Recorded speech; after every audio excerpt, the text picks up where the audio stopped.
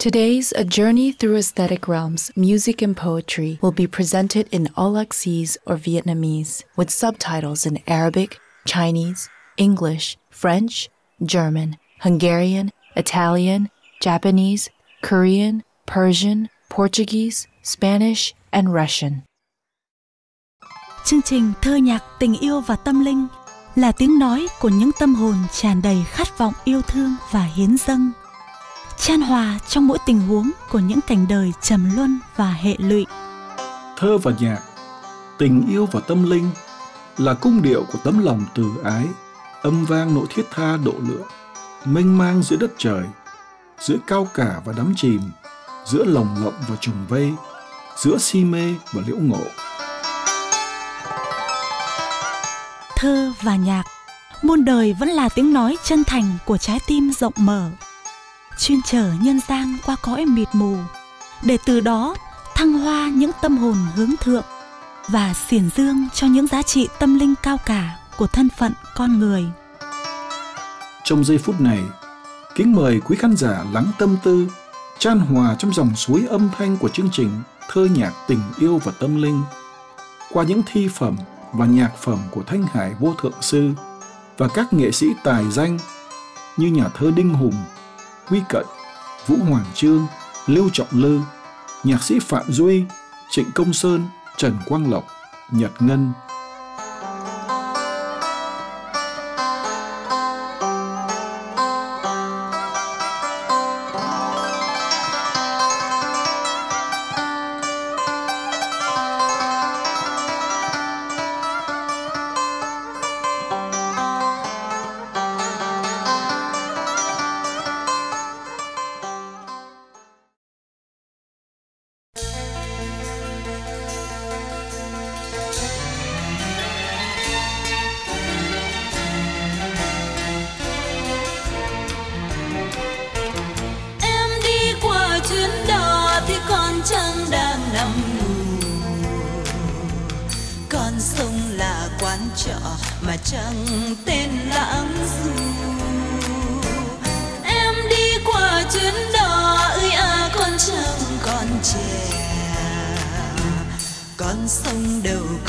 ngờ ngày kia chẳng sẽ già.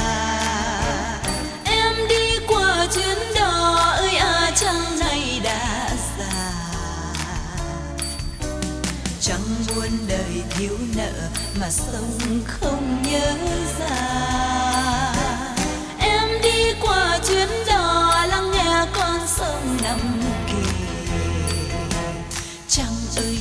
rất tệ mày đi nhớ chóng về. Trăng ơi, trăng rất tệ mày đi nhớ chóng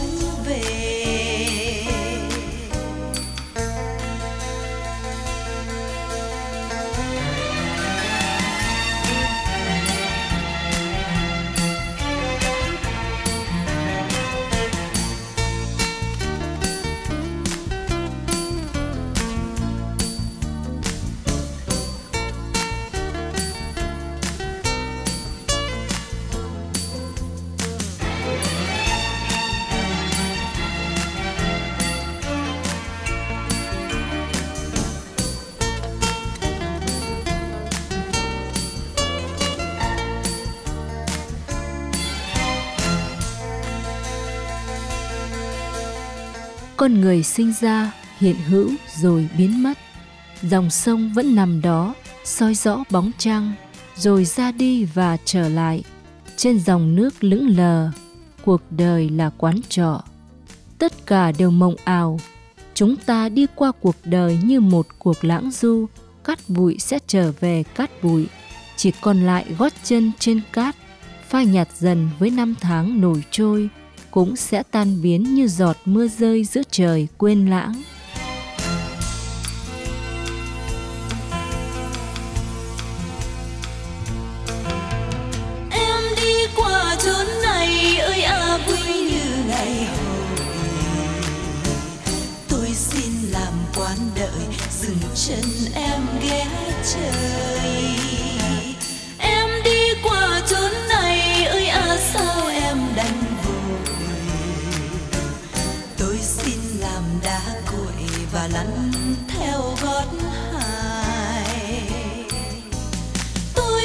chơi giữa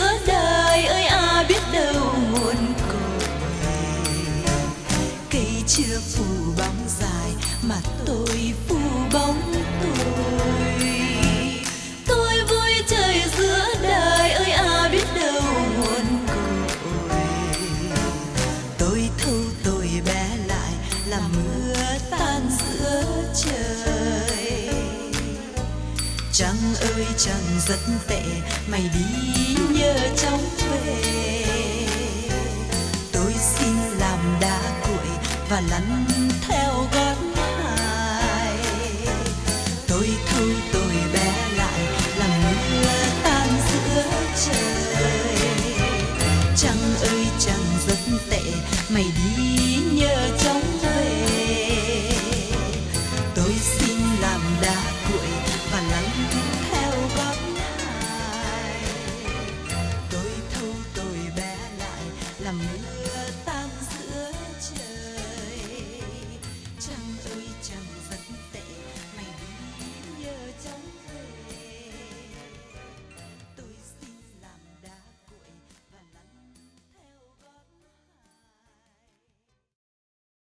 Kính thưa quý vị, trong chương trình thơ nhạc Tình yêu và tâm linh gồm 4 kỳ, chúng tôi xin trân trọng gửi đến quý khán giả dòng nhạc của một nghệ sĩ Âu Lạc Việt Nam, một nhạc sĩ không những lừng danh trên quê hương yêu dấu của ông qua nhiều thế hệ, mà còn đối với cộng đồng quốc tế.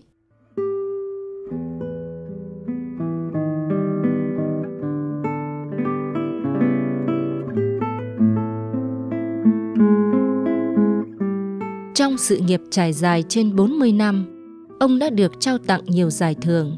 Trong số đó có giải đĩa vàng 1972 của Nhật Bản qua ca khúc Ngủ đi con và giải thưởng âm nhạc hòa bình thế giới 2004. Giải này nhằm tri ân và ca ngợi những cá nhân đã có đóng góp lớn lao cho nền hòa bình trong thời đại của họ. Cùng được trao giải trong năm 2004 là các nghệ sĩ Hoa Kỳ lỗi lạc như Bob Dylan, Harry Belafonte, John Baez, nhóm Peter, Paul và Mary. Một nghệ sĩ Âu Lạc với danh dự chân quý này được tôn vinh là nghệ sĩ của hòa bình và tình thương, chính là Trịnh Công Sơn. Nhạc sĩ Trịnh Công Sơn đã viết Mỗi đêm, tôi nhìn trời đất để học về lòng bao dung, nhìn đường đi của kiến để viết về sự nhẫn nhục. Sông vẫn chảy đời sông, suối vẫn trôi đời suối. Đời người cũng để sống và hãy thả trôi đi những tị hiềm. Trong sự đồng cảm từ những phút giây sâu lắng, Thanh Hải Vô Thượng Sư đã cảm nhận được nét đẹp an bình của những cung bậc thánh khiết từ một người nghệ sĩ phi thường sống giữa đời thường như nhạc sĩ Trịnh Công Sơn từng nói.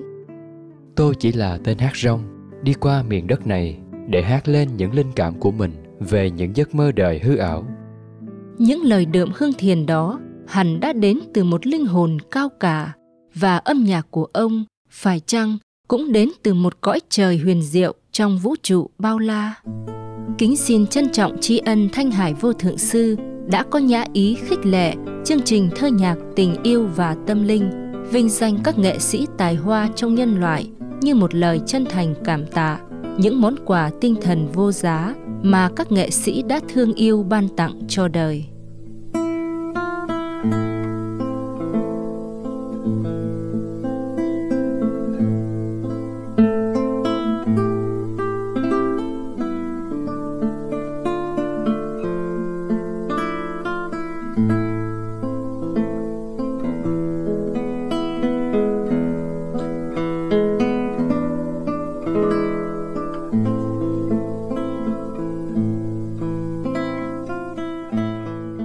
Công Sơn nguyên quán Huế nhưng chào đời tại Lạc Giao, tỉnh Đắk Lắk năm 1939 là con trai lớn trong một gia đình buôn bán khá giả giữa trung tâm thành phố Huế gồm 8 người con, ba trai và 5 gái.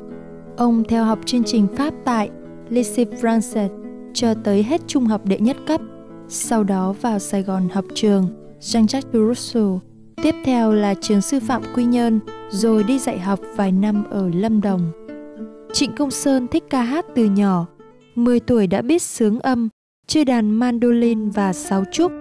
12 tuổi ông chuyển sang đàn guitar. Trịnh Công Sơn cho biết ông bắt đầu viết ca khúc rất sớm nhưng không giữ lại bản nào cho tới khi viết bản Ướt mi vào năm 1958.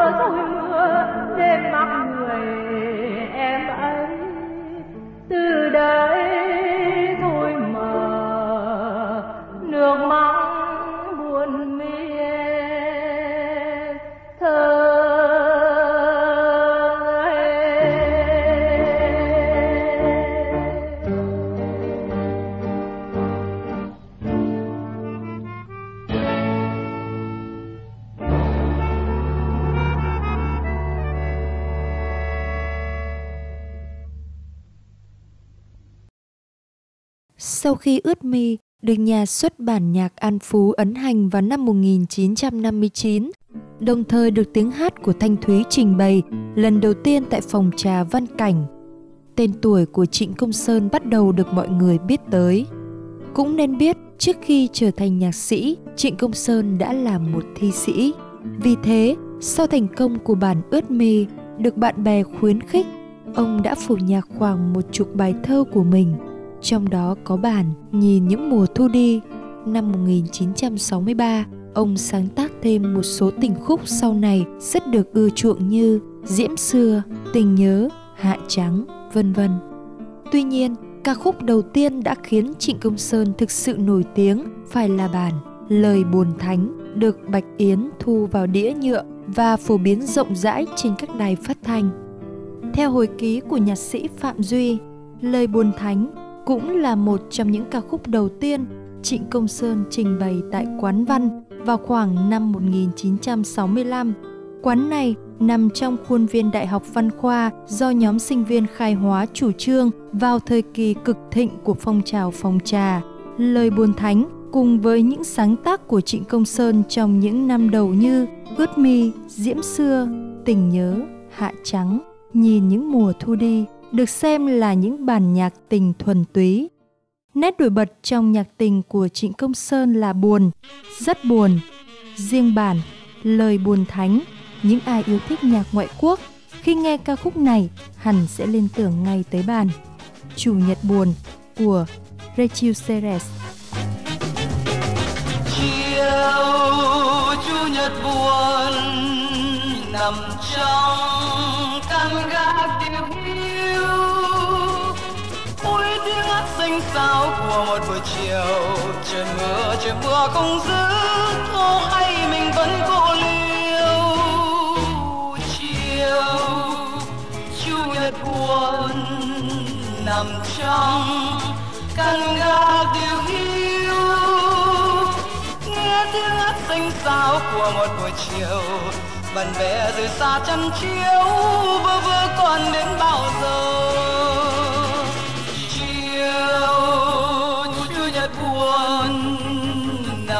Nằm trong căn gác yêu yêu tôi xin nắm ngón tay em thiên thần trên vùng ẩn năn qua cơn hờn dỗi, tôi xin nắm ngón tay em đưa vào cô đơn. Chiều, chủ nhật buồn lặng nghe.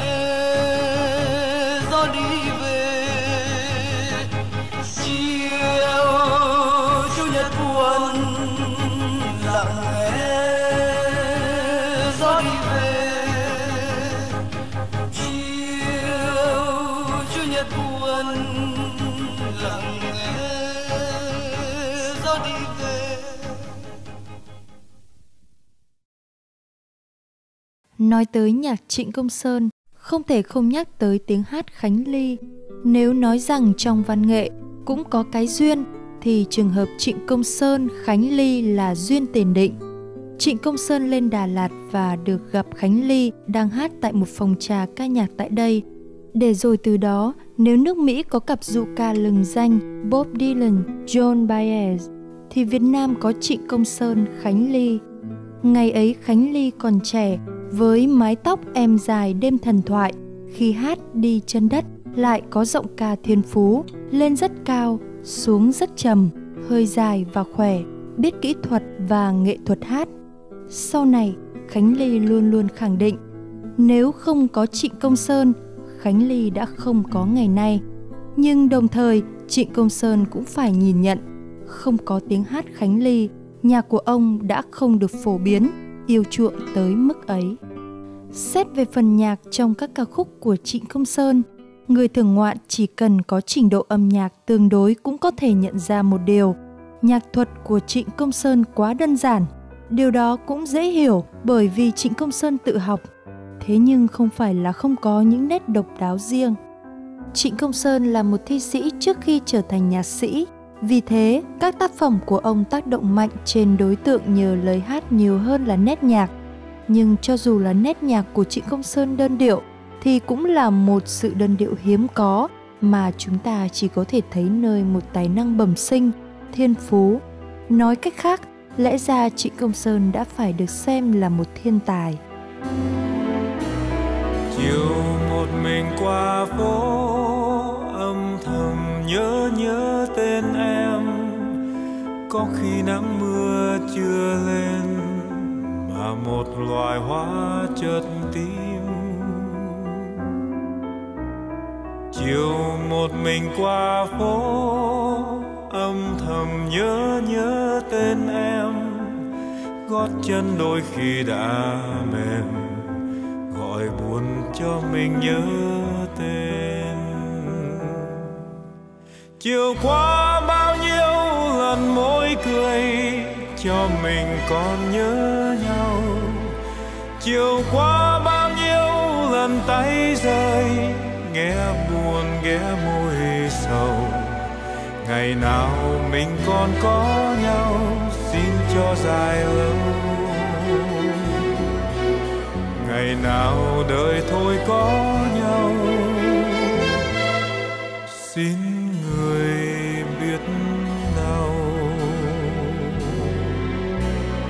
chiều một mình qua phố, âm thầm nhớ nhớ tên em. Gió ơi gió ơi, bay lên, để bụi đường cay lòng mắt.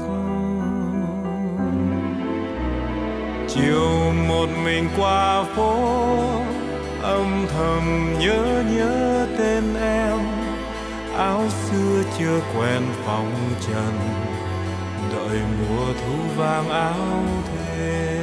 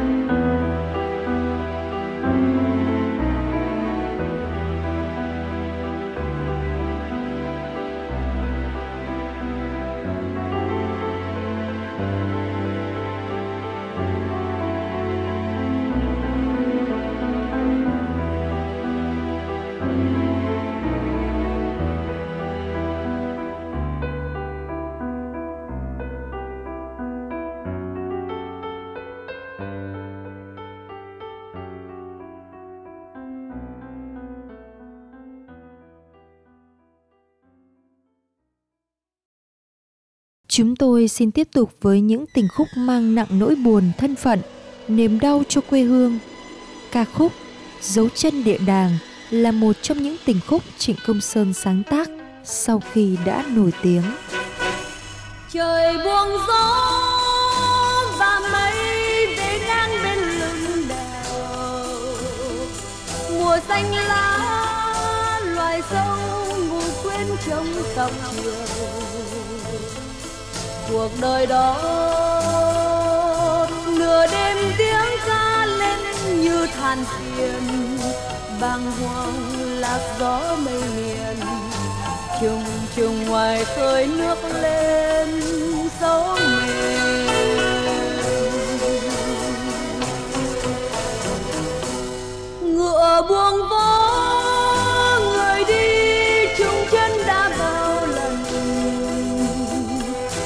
đêm đó, lời ca dạ lắm như ngại ngùng. Vùng u tối loài sâu hót lên, khúc ca cuối cùng. Một đời bò ngó đêm hồng, ngoài trời còn dâng nước lên mắt em.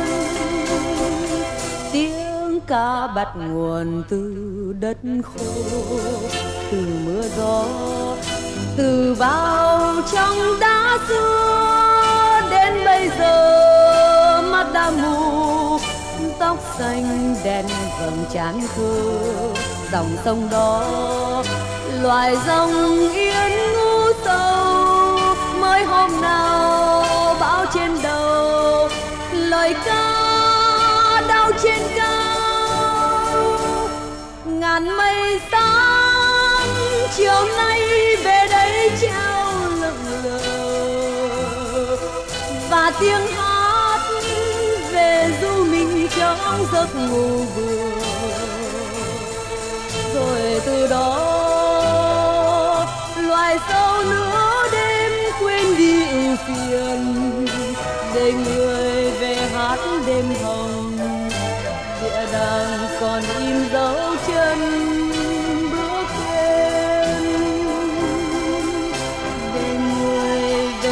đêm hồng. Địa đàng còn in dấu chân bước lên. Để người về hát đêm hồng. Địa đàng còn in dấu chân bước So sánh với những ca khúc ban đầu, người ta thấy nội dung những bản tình ca của Trịnh Công Sơn lúc sau này càng thêm tuyệt vọng. Thời gian đó là năm 1965, cao điểm của chiến tranh Việt Nam, một người bạn thân của Trịnh Công Sơn nhận xét Trịnh Công Sơn là người thiếu vắng một thái độ chính trị. Vì thế vào năm 1963, nhà của ông vẫn chỉ viết về tình yêu và thân phận con người. Tình ngỡ đã quên đi, nhưng lòng cô lạnh lùng. Người ngỡ đã xa xăm, bỗng về quá thênh thang. Ôi áo xưa lồng lộng đã xô ra trời chiều như từng cơn nước rộng xóa một ngày điêu hiu. Tình ngỡ đã phôi pha nhưng tình vẫn còn đây người ngỡ đã đi xa nhưng người vẫn quanh đây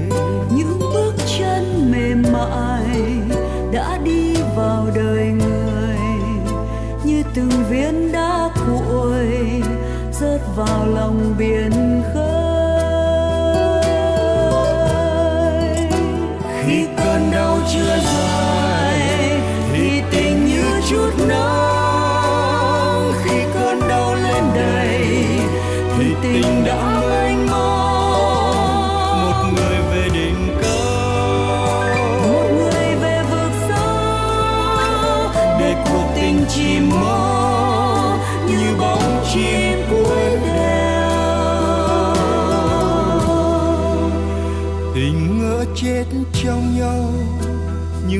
vẫn rộn ràng. Người ngỡ đã quên lâu nhưng người vẫn bâng khuâng. Những ngón tay ngại ngùng đã du lại tình gần như ngoài khơi gió động hết cuộc đời lênh đênh. Người ngỡ đã xa xưa nhưng người bỗng lại về tình ngỡ sóng xa đưa nhưng còn quá bao la. Ôi trái tim phiền muộn đã vui lại một giờ. Như bờ xa nước cạn đã chìm vào cơn mưa. Ôi trái tim phiền muộn đã vui lại một giờ. như bờ xa nước đã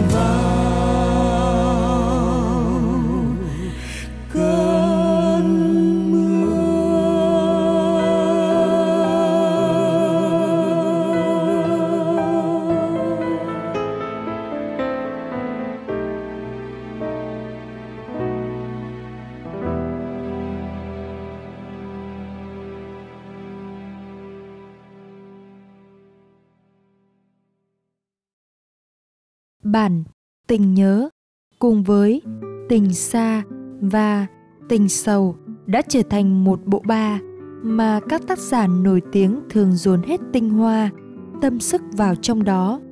Tác phẩm để đời gồm 3 phần khác nhau nhưng không thể thiếu một.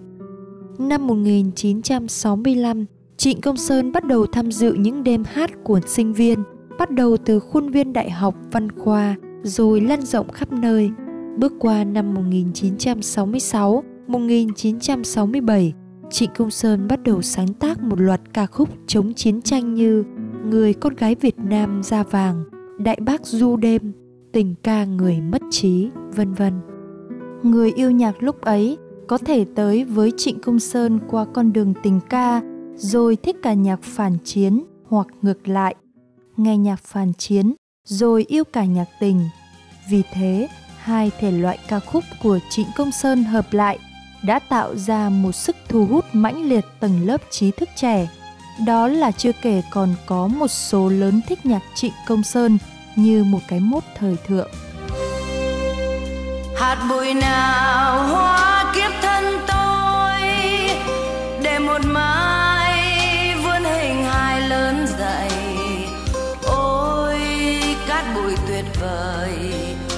mặt trời soi, một kiếp dòng chơi. Hạt bụi nào hóa kiếp thân tôi, để một mai tôi về làm cát bụi.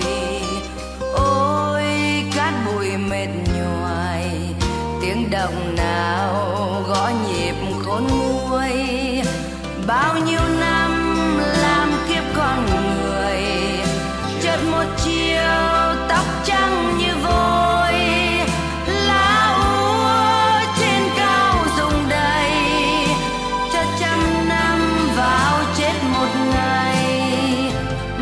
trời nào soi sáng tim tôi để tình yêu say mòn thành đá cuội. Xin úp mặt bùi ngùi, từng ngày qua mọi ngóng tin vui, cùng rừng nào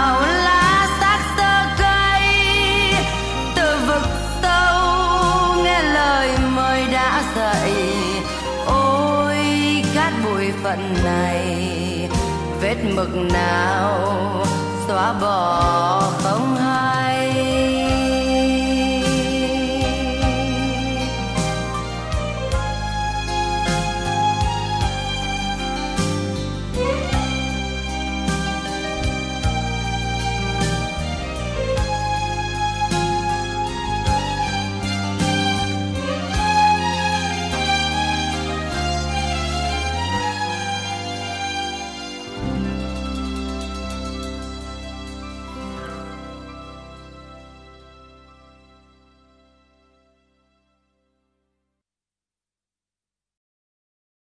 Mấy năm trước khi qua đời, Trịnh Công Sơn đã cho xuất bản tuyển tập những bài ca không năm tháng.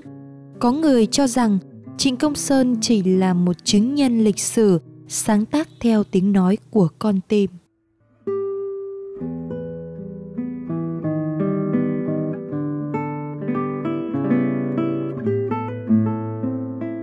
Thanh Hải Vô Thượng Sư đã có lần cho biết nhạc sĩ Trịnh Công Sơn là một thiên nhân đàn ca từ cõi trời cao trên thiên đình đã xuống địa cầu để mang niềm vui tao nhã đến cho người trần gian.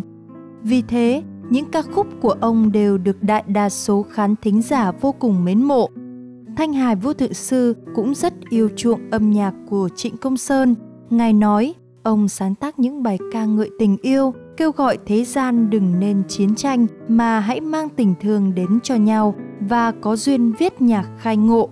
Nên trong những lúc thưởng thức dòng nhạc Trịnh Công Sơn, Ngài nghe dường như có một lời gửi gắm thân tình từ cõi thiêng liêng đến cho Ngài. Trong thời gian nhạc sĩ Trịnh Công Sơn nhập viện, nữ ca sĩ Ánh Tuyết và hội viên chúng tôi đã thay mặt Thanh Hải Vô Thượng Sư đến viếng thăm ông với tất cả chân thành cùng lời an ủi, nguyện cầu và một số quà cho những việc cần thiết, khiến ông vô cùng cảm động. Khi nhạc sĩ thiên tài Trịnh Công Sơn giã từ cõi tạm, đại diện Hội Quốc tế Thanh Hải Vô Thụy Sư đã thành kính mang vòng hoa dự tang lễ tiễn đưa.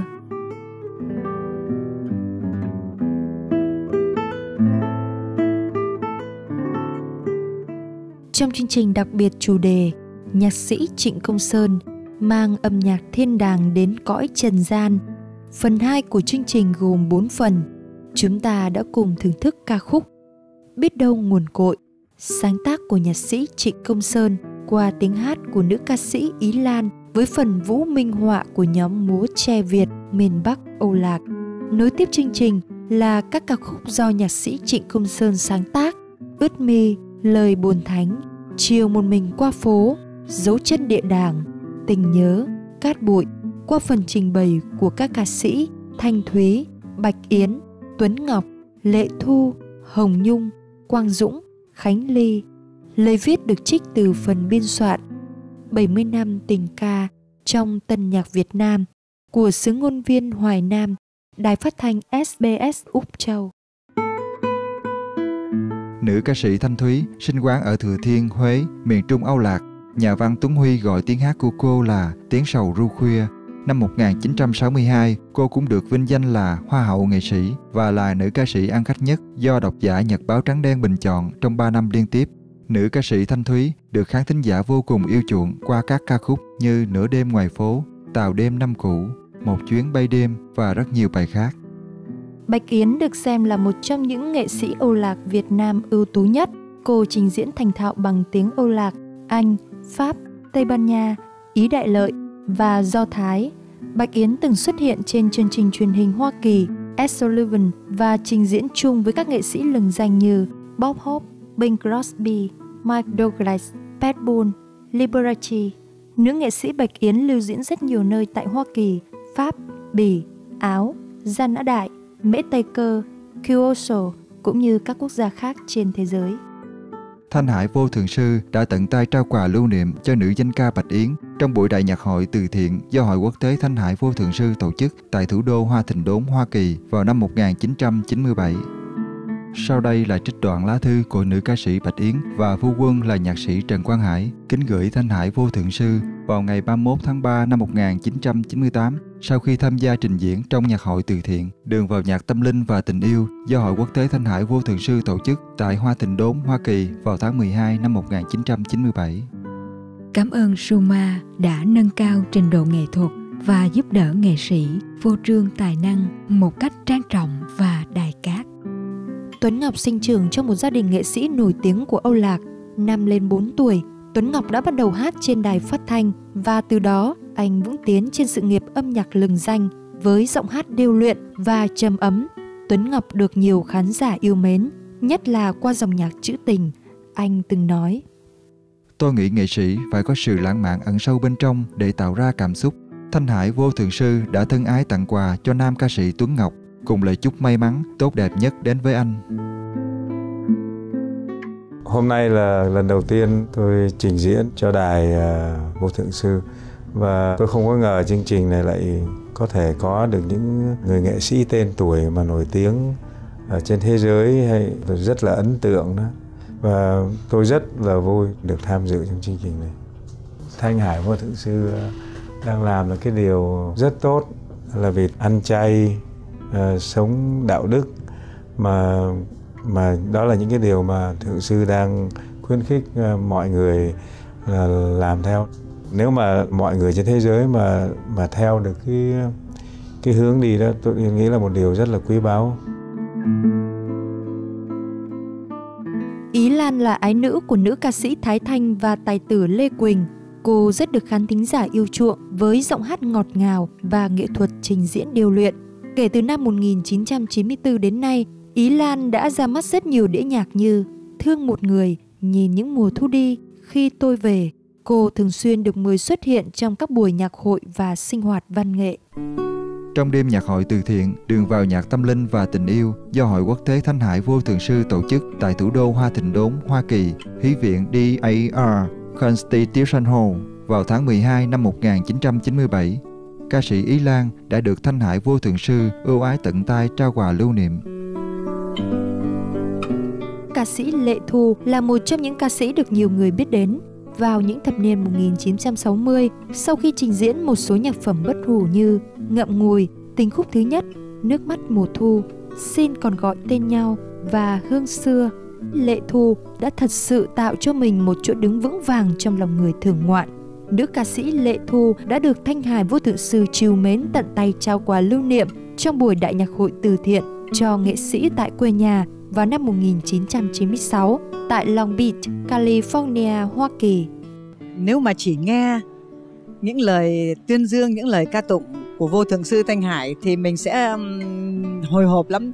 Nhưng mà đến khi đến gần người thì mới thấy là um, thiền sư vô cùng thân mật, vô cùng dễ thương. Thầy Thu, xin Ngài hãy tiếp tục con đường đạo của Ngài và xin Ngài hãy tiếp tục là một bó đuốc soi đường cho tất cả các đệ tử cùng noi theo Ngài.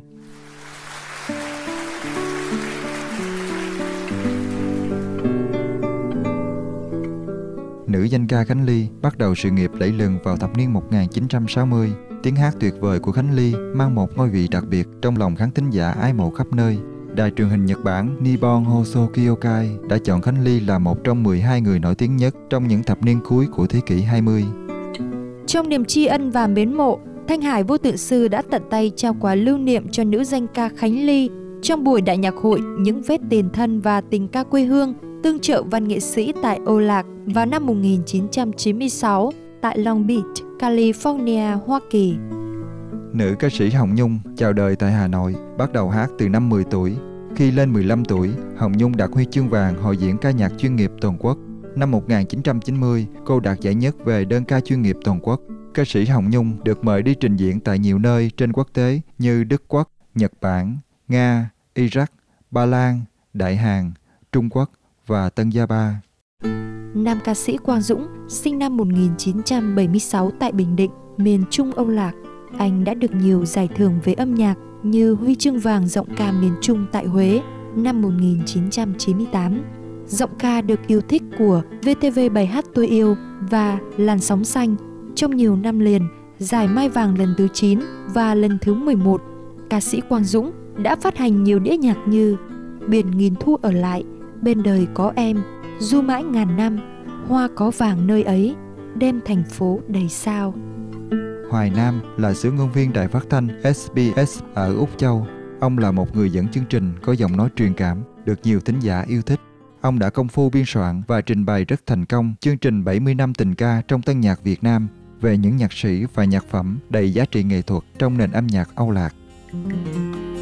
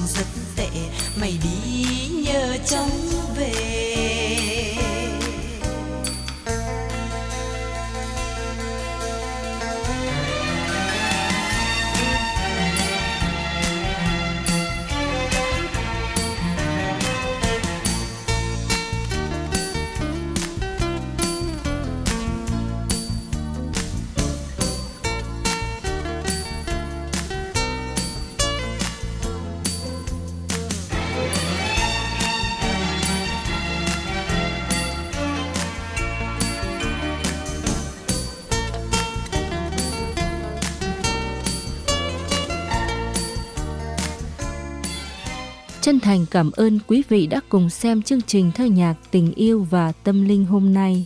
Xin quý vị giữ đài truyền hình vô thượng sư và đón xem danh nhân trường chay. Nguyện cầu hòa bình và tình thương luôn ngự trị giữa muôn loài trong ân điển của đấng thiêng liêng. Xin thân ái kính chào tạm biệt.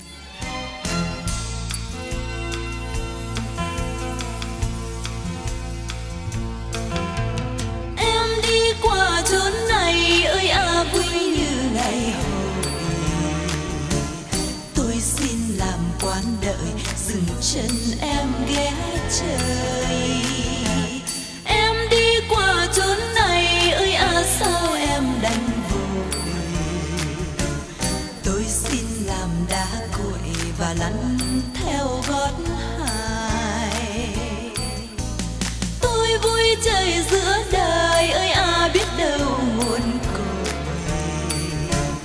Cây chưa phủ bóng dài, mà tôi phủ bóng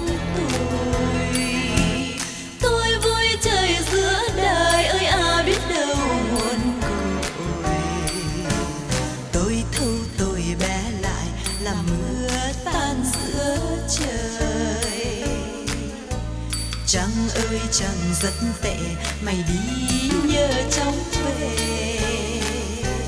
Tôi xin làm đá cuội Và lăn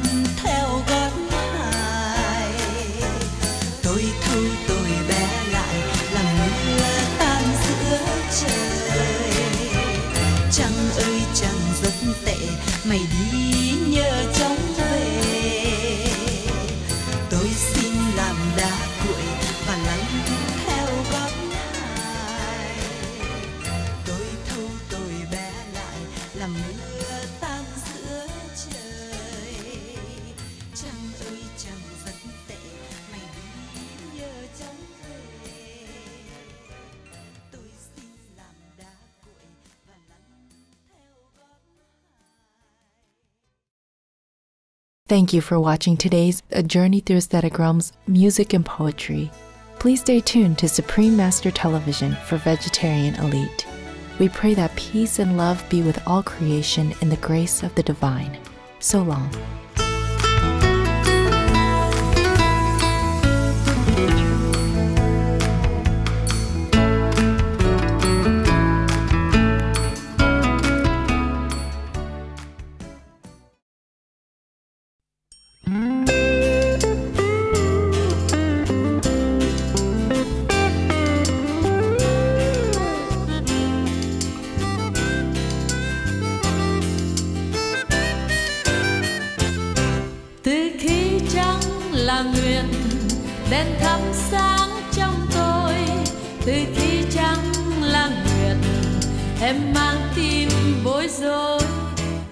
Mời quý vị đón xem vào thứ Bảy, ngày 15 tháng 1 năm 2011.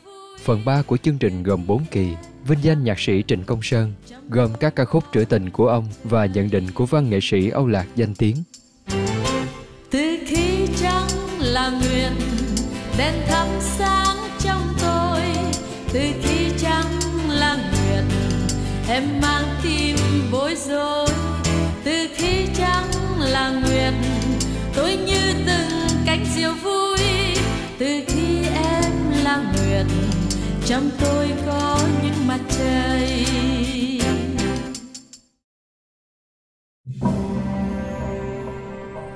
For more details, please visit www.suprememastertv.com forward slash MP.